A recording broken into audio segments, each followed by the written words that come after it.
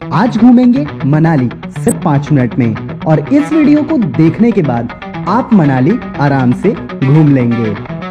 मनाली पड़ता है हिमाचल प्रदेश में और मनाली कुल्लू डिस्ट्रिक्ट के अंडर में आता है।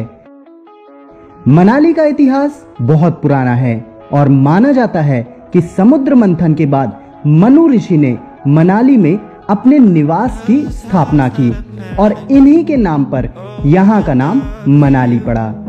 मनाली दो शब्दों से मिलकर बना है। मनु और आल्य मतलब मनु का घर, जो बाद में मनाली के नाम से जाना जाने लगा। मनाली में दो बिज़नेस सेक्टर में सबसे ज़्यादा लोग जुड़े हैं।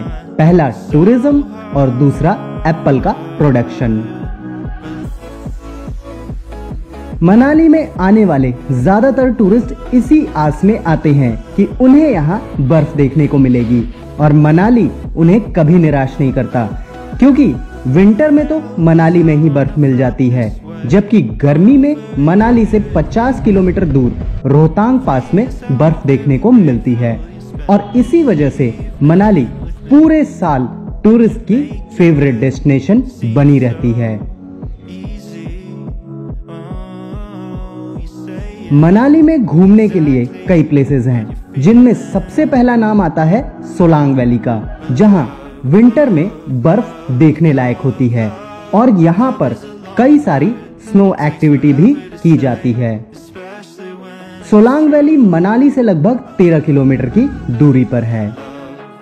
इसी तरह, यहाँ मनाली में हिडिम्बा देवी टेंपल भी काफ़ी मशहूर है और ज़्यादातर टूरिस्ट अपनी मनाली की यात्रा की शुरुआत यहीं से करते हैं।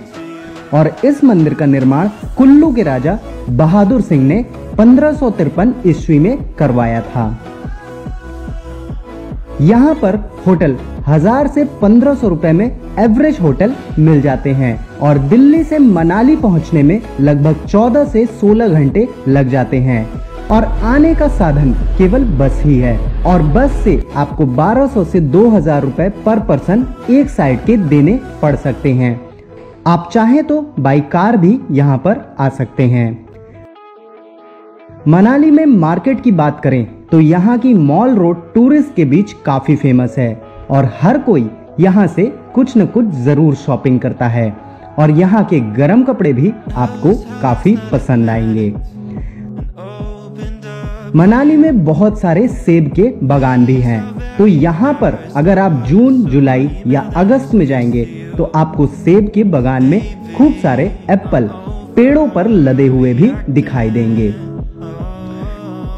मनाली के आसपास भी कुछ आउटडोर प्लेसेस हैं, जिनमें मणिकरण गुरुद्वारा बहुत ही पॉपुलर है, जहाँ 24 घंटे लंगर चलता रहता है। और खास बात यह है कि यहाँ इतनी ठंड में भी एक गर्म पानी का कुंड है, और इसमें मान्यता अनुसार भक्त नहाते भी हैं, और कुछ जगहों पर ये इतना गर्म है कि लोग चावल भी पकाते हैं। मणिकरण से चार पाँच किलोमीटर पहले ही पड़ता है कसोल और यहाँ पर टूरिस्ट प्रकृति की गोद में बैठने के लिए आते हैं, क्योंकि यहाँ पर रिवर साइड कैंपिंग में रहना एक कभी न भूलने वाला अनुभव हो सकता है।